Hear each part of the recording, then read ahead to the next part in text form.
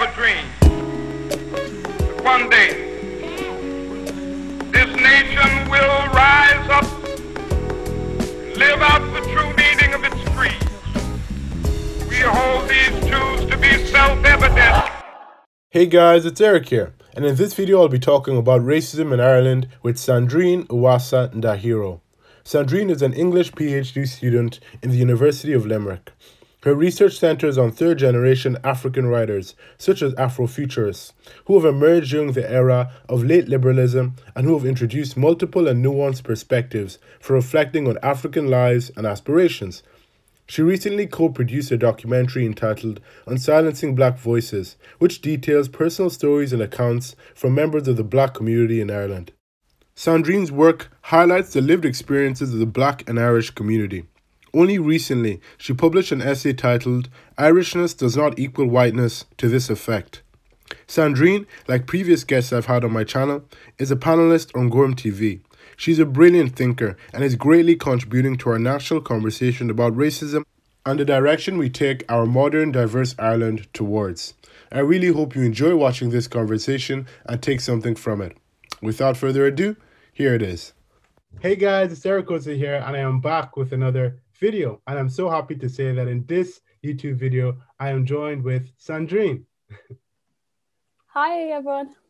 Now, welcome to the video, Sandrine. I'm so happy to have you on board. And as you can all probably tell from the title, in this video, we're going to be talking about racism in Ireland. Of course, racism, ever since the ascendancy of the Black Lives Matter movement in Ireland, has been a massive kind of talking point and topic.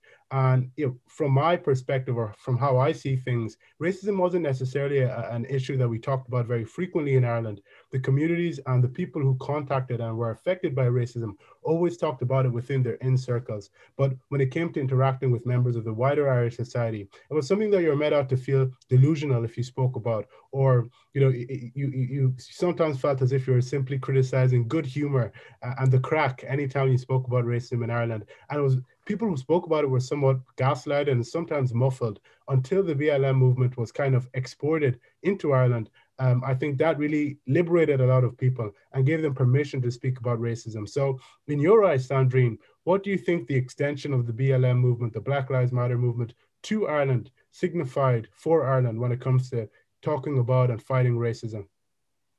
Yeah, no, I think you made a really good point, like in regards to like how BLM is like something that was fundamentally started in the US. And I think when I remember when I watched with George Floyd, and I don't know, like it's bad to say, but like, I remember being like, at least it's there.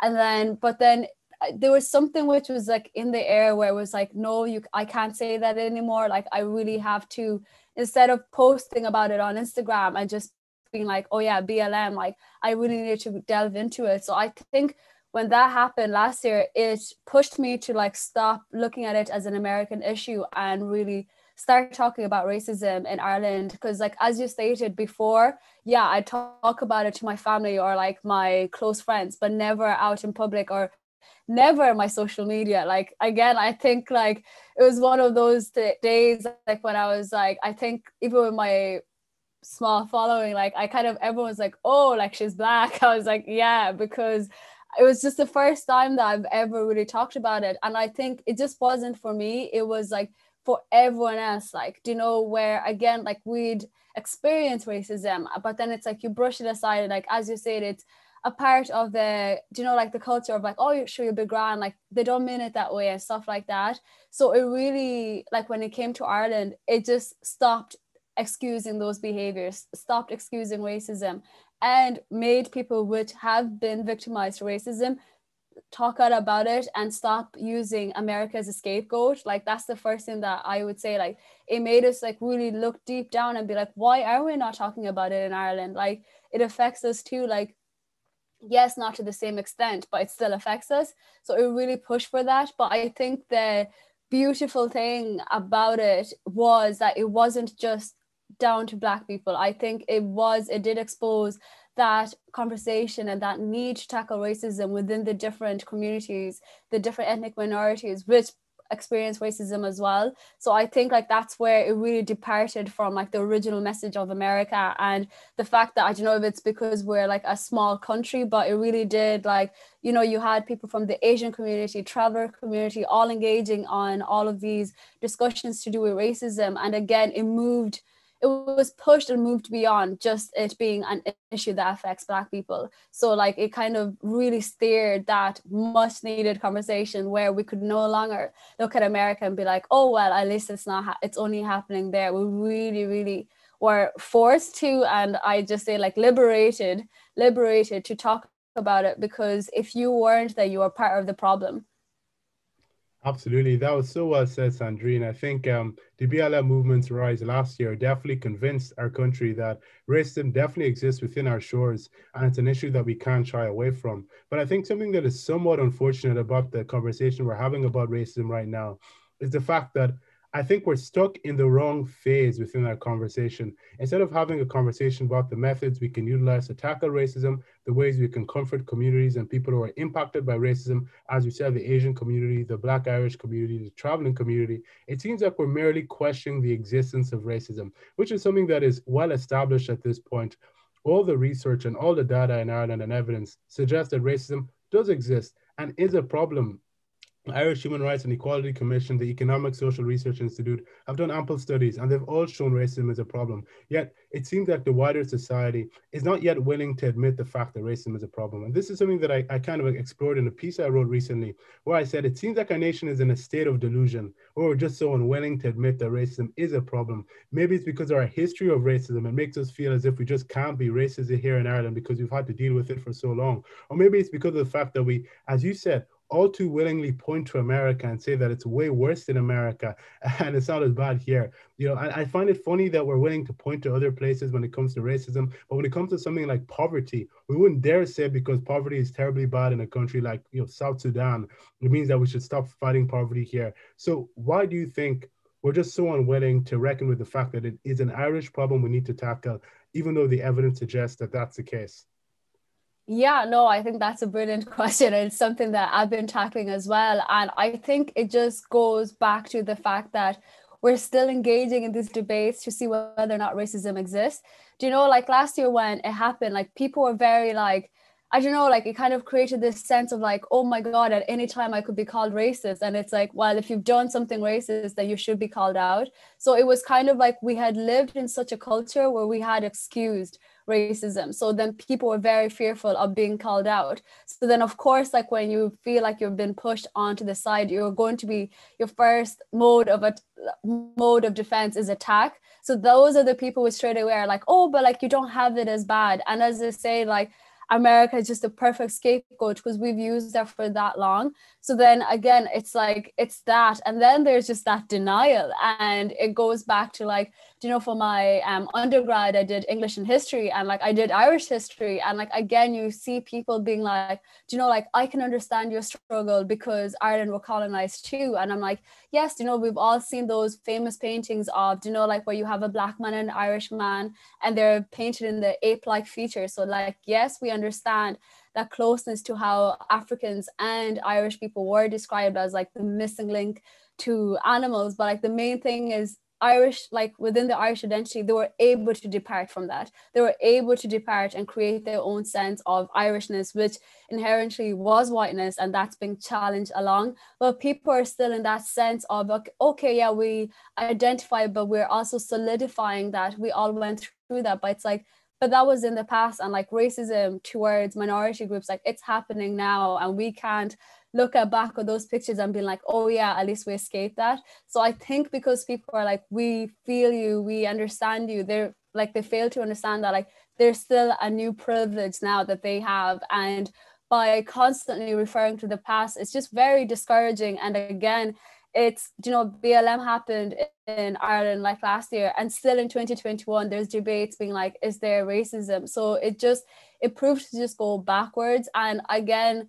it just goes back to this whole nature of we've just let it go for so long that it's just going to be having to tear away at it and like really look at the really awkward conversations that we just need to like unlearn. And i think that's why like there's just not a willingness to do that because you're so comfortable to like make a racist joke and be like it's okay i have a black friend and that has worked for you for years. And now you mean to say that you can get um called out you can be held accountable like no your first mode is always going to be defense.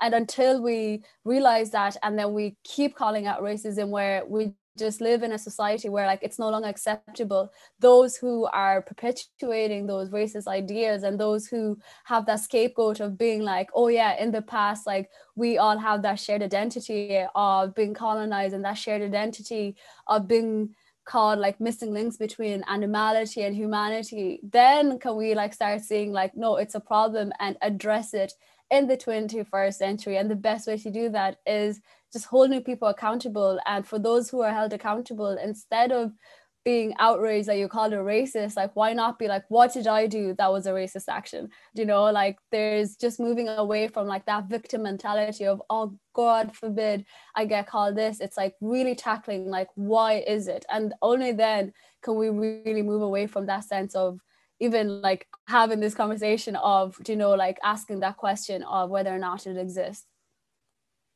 that was such a fantastically articulated uh, answer, Sandrine. And I think um, two points that really shone on to me, shone out to me, sorry, was, were firstly the fact that um, you referenced how uh, the co- commonality in history is by no by no means an excuse to kind of uh, use to exonerate yourself of the responsibility of addressing the racism that a lot of minorities within Ireland interact with. And you know that, in my opinion, should be an impetus. It should be a reason for you to want to tackle racism even more because you're used to its effects. You, are used to how uh, catastrophic its, its effects and its impact can be. That should urge you to want to go out and ensure that no other community within your nation have to deal with it. So I think we need to start using our, our history as a device of encouragement rather than one of discouragement. And another kind of point that you raised, um, which gets me nicely onto the next point, was the fact that you know whiteness sometimes is seen as synonymous to Irishness, and I think that's quite problematic, generally speaking.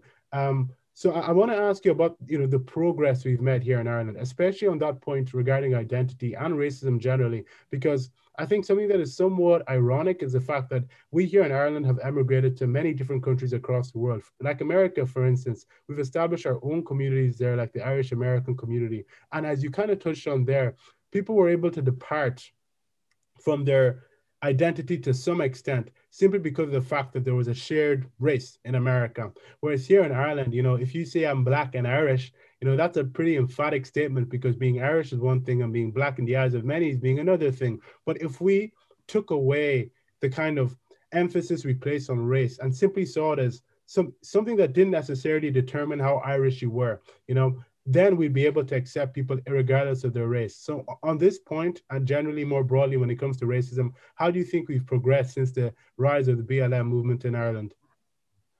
Yeah, I think we've progressed to some extent and gone backwards to some. So we progress in the fact that racism is no longer a taboo topic. Like you are talking about it. And again, you are engaging in these conversations, not debates on whether or not it exists, but like conversations of, okay, how can, let's say, like our company become more diverse? How can the curriculum? So, like, we're seeing positive changes where those in power are like starting to unlearn these behaviors and starting to see that we're like again 2021 so whichever spectrum they are should reflect a wider irish society which again does not just cater to white middle men you know like it does not cater to that.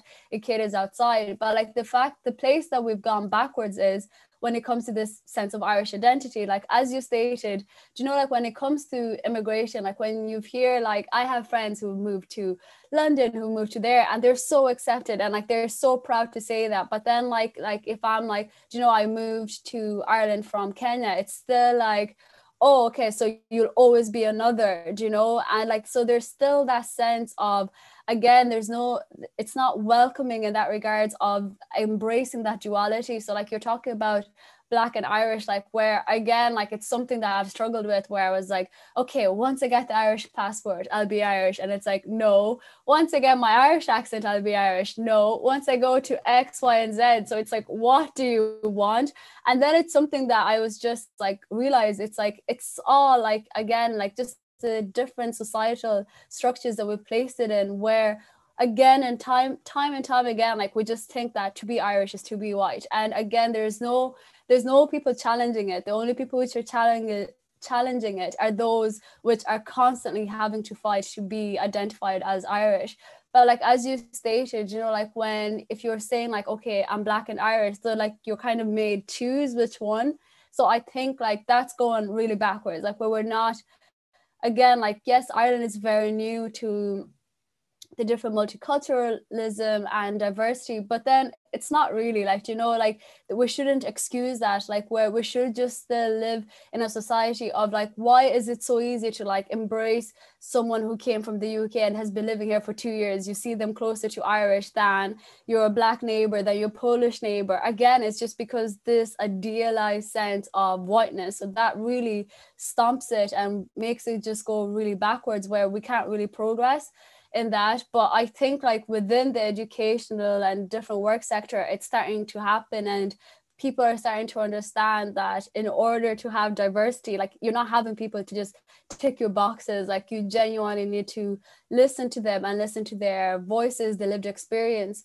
But when it comes to identity we're still so grounded in that root of Irishness being whiteness. So it's a very hard place to really tackle and move away from because when you do move away from it, you're kind of like left with being like, okay, which side do I pick, like Irish or Black? So only by, again, just engaging in these debates where we don't have a monolithic view of Irishness, then only then can we really see the progress because we won't even have to question your again like your Polish neighbor, your Muslim neighbor, your black neighbor when they tell you like I'm from Ireland. Yeah, that was again very well put. Um, very well put. And I think, you know, with race, it, because it's a visual facet, it's more off-putting than let's say ethnicity. Ethnicity is more so an invisible aspect of who you are. Uh, let's say if you come from a place like Europe or a place where people are predominantly lighter skin or where their complexion is not really dark. But then once you have that melanin and that darker skin, it, it, immediately it gets across an image, and people can either interpret that image as something that is just negligible and irrelevant, and something that doesn't necessarily determine whether you're part of Ireland or not. But as you said, all too often uh, people are seeing that as something that excludes you from the Irish family and from your stake in the country, which is regressive. But I think we are taking steps forward, as you acknowledge, but there's so much more for us to do. Um, I, I, think something also, Sandrine, that is quite apparent from the rise in the BLM movement, not only in Ireland, but across the world, is the American, the USA influence, which would naturally stem from the rise of the BLM movement anywhere in the world, because the BLM movement was first conceived in the USA. And here in Ireland, you can see kind of BLM, American specific terminology being used to articulate racism here in Ireland. And I think taking inspiration from the USA can be quite good when it comes to the fight against racism. But um, you know, I think a, serious question that has been raised by some recently is the fact that you know the racism that is contacted and experienced by some in America is very specific and very unique. The history that kind of is the battery of racism uh, that that keeps it going and, and prolongs racism in America. You know, the, the backdrop and the backstory is very loaded, very heated, and it's filled with a lot of different stories and traumatic experiences for Black people. So the way they interact and deal with racism today is kind of stemmed with that to some extent. So us borrowing the American dictionary to articulate here racism here in Ireland, you know, although it might be useful when it comes to some terms, you know, I, I find that making our own ready-made Irish Pacific thesaurus to talk about the racism that communities face here in Ireland might be useful because expressing it wrongly might see us importing some of the issues, maybe not the extreme issues, but some of the issues and the divisiveness that exists in America. So this is an observation that I that I've uh, kind of made recently. So what do you think? Do you think us taking the, a strong kind of American approach to the racism here in Ireland may be good, or do you think that might have repercussions if it's not done uh, diligently? Yeah, no, I think that's a brilliant question. And yeah, I think if we take that, we're going to be leaving people out. And I mean it in that sense of um, I tutor in like post-colonial literature, and for one of the texts we're reading is Ta-Nehisi Between the World and Me. I don't know if you've read that. Do you know? And like with that, there it reminds me of a section like where um, when he went to France and he would see how like black people would interact with each other and like they just had no fear. So he was like, oh, like racism exists here so differently than in America. And I think that's the way I can see it. So, like, do you know, like, even if you just look at the core values of BLM, like, it's calling for specific issues to be addressed within the American system. So, it's very wrong to like place that into Ireland. So, like, that, as I was saying earlier, like, within Ireland, we've had the opportunity to use BLM to again like point out how travelers have been discriminated again against for decades you know? And so i think by only saying that okay we're only going to be looking at blm in regards to black trauma black this black that it's we're just falling trapped into that. We really have to look at it and again use it as a backdrop definitely like looking at it and being like these are the different strategies but by engaging in these debates where we're leaving other minorities out, we're leaving other people who have faced racism, it's just wrong because, again, like that's not how BLM works in Ireland. Like, we can't like if you just again like simple googling of like the foundations like you know like they want to address racism like but in particular police brutality. They want to address x y and z but we don't have that in ireland. Like we're we're very new to this so it's like we really need to develop our own language. We need to develop our own understanding of racism because now like um it's funny because like for sociology we're at the aspect of it like where i'm tutoring on like whether or not race is a social construct and when i ask students like what's your definition of race? Racism. And it's still like oh when white people do this to black people i'm like that's not racism. Like you know that's not the definition.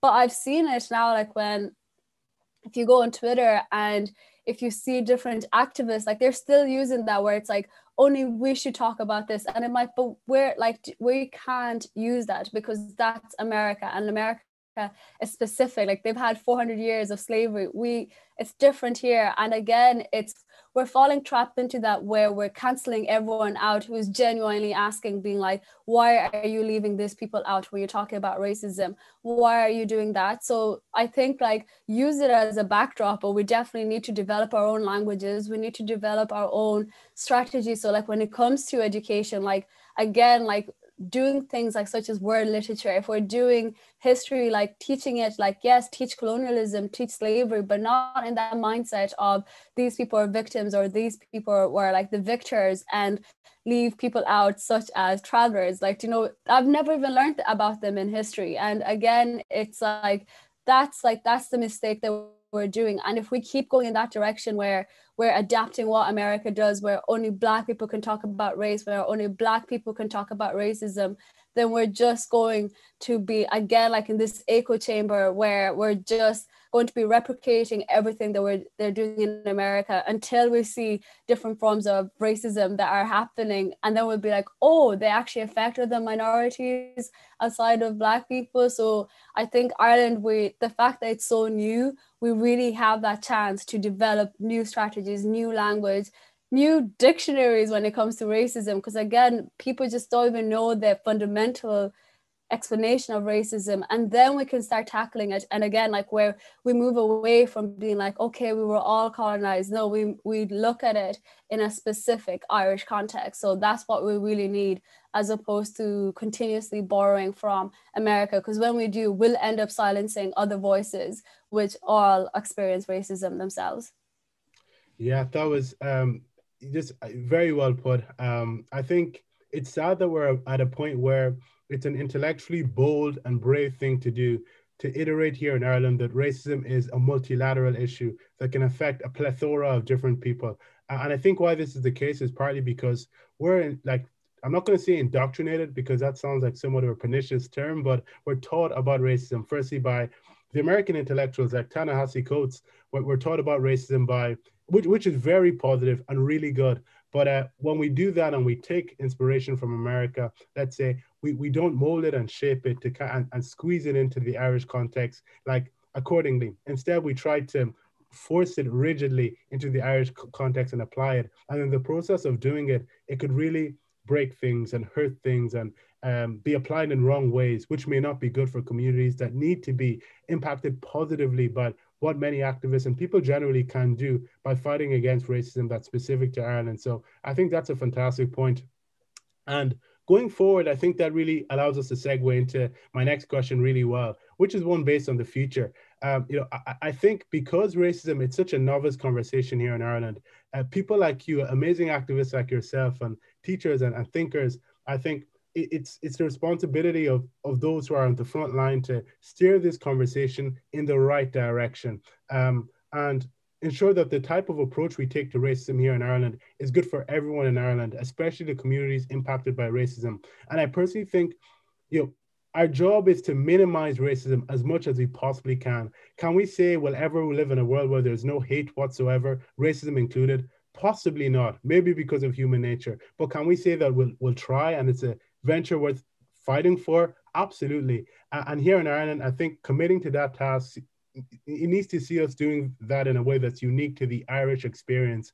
And what I philosophize or dream of when I think of like the utopian Ireland is an Ireland where you know I can just walk around in the street and see people from diverse backgrounds and be able to call them Irish, be able to interact with them, and where I don't want to use the term colorblind because it, ha- it has its connotations, but where I treat people without regard to race. This would be the ideal Ireland. And yeah, this is what I'd want to see. So I'm going to you know, turn that question back to you in terms of the future of Ireland and the future of anti-racism activism and the whole kind of rigmarole. What do you hope Ireland to look like, and where would you like us to get to? Yeah, no, definitely. It's a brilliant question. And I think, yeah, my hope for the future is definitely to move away again from viewing racism as something that only affects one type of like one group of people. I think it's very important to again like let's just going back to the dictionary of what racism means. Like why would we want to be in a world where it's like okay so i'm respected as a black woman but a traveler and an asian person they're still getting racism? Like i just don't want to live in that world. I'd rather live in a world that where like racism is confronted in all different multitude of ways and then the other one is again to just move away from these discussions or whether or not racism exists in Ireland. So just to kind of again tear away at that fear of being called out racist, being teared away at that fear of being like, oh, I've been so used of this for so long. Like this is a part of like the uh, I don't know, the joking culture. This is a part of this. You're removing the fun by just understanding like those jokes are not funny. Like you that group chat where you're like chatting up um talking about black people this people like it's not funny. So just creating that sense of like where you're not constantly being like oh i'm going to get called racist where you should be like i should just be living in a world where whatever i'm doing whatever actions i'm participating in whatever group chat i'm participating in it has no racism sexism connotation. You know like it's a very simple thing to do and yeah i like i agree. I don't think not in my lifetime anyways that we live in a world like where racism is definitely diminished. But i think that as you stated by viewing people as just human beings as opposed to projecting on race projecting on different stereotypes that you have against people like by just viewing them as a fellow human being and just again learning that in order for like a society to function like we just all have to get along. And that means that just because you're not racist to a black person does not mean you can project that onto other people. So i think like that's just the future that i'd want like again just moving away from that sense of debating on whether or not racism exists. And then again just because you are okay with one race does not mean that you can go and again project racism and racist ideas onto another onto another. So like that's what blm has really shown that you have to just be anti-racist in all the different spectrum not just to black people. Yeah um, once again fantastically put. I think i've said that quite a few times during the duration of the conversation but i think that naturally brings us to a close to an end Thank you so much, Sandrine, for partaking in the conversation. I thoroughly enjoyed speaking with you about this topic. I hope that those watching can go out and have similar conversations about racism in Ireland and try and think about how they can contribute to the development and enhancement of the national conversation. So I'm sure everyone enjoyed watching it. If you did, please hit the like button, subscribe to the channel if you haven't already. And if you have any opinions as to what Sandrine or I said in the video, let us know in the conversation. Uh, sorry, in the comment section. I'll be back with another video very, very soon. Bye.